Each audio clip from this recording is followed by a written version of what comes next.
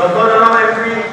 চোদ্দ জন বিধায়ক ଥିଲେ ଆଉ କିଛି ହେବ ନାହିଁ ବୋଲି ଚିନ୍ତାଧାରା ଆଜି ନଅ ଜଣ ବିଧାୟକ ଅଛନ୍ତି ଆଉ ସେ କିଛି ହେବ ନାହିଁ କଂଗ୍ରେସ ବୋଲି ଯେଉଁମାନେ ଚିନ୍ତାଧାରା ଯେଉଁମାନଙ୍କର ଅଛି ଅତି ଭୁଲ କଥା